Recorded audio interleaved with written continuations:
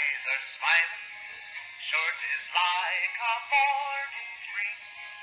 In the lilt of Irish laughter, you can hear the angels sing. Hey, what's up, LOL? I hope you liked that little singing thing that Mr. Steven did. Yep, his name's Steven. Said it on his tag, but I threw that away. Let's get started. I'm Elizabeth, as you may know from my first video. Anyway, if you saw Rachel's video, which was on Monday, you would know that this week is Versus Week. So, for my Versus Week, I, cho uh, I chose public school versus private school. So, I personally like public school better.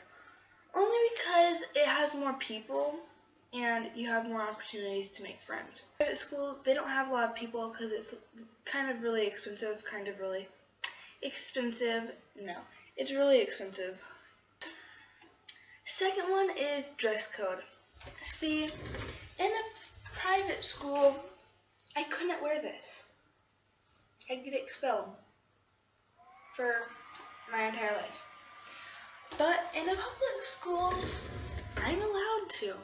In private school, it is usually more expensive and it's not free to get in. But in public school, you can get in free. Unless, well, you can get in free, but the only times you really have to pay are like school dances, um, lunch. If you don't, if you didn't bring your lunch, then you choose a lunch or breakfast. And that's about it. It's the only time you'd pay. Yeah. The rules are pretty different. Like I said, dress code. Um, but in private school, if you do something that's against the rules,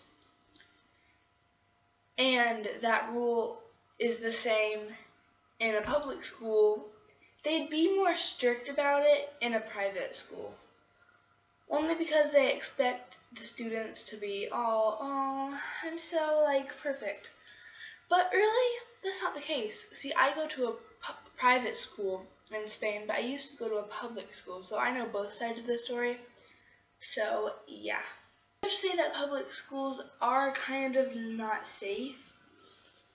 Just thinking about what happened in Connecticut, the shootings, and just all that stuff, but in private schools, you really, they're, mm, they kind of check you, like, and most of them, there are metal detectors that you go through in airports, and they'll actually find out, or like locker checks, mm, girl, every day, every day they have locker checks, no, not every day, but just most of the time they do, just to see if you have drugs, alcohol, guns, knives, stuff like that.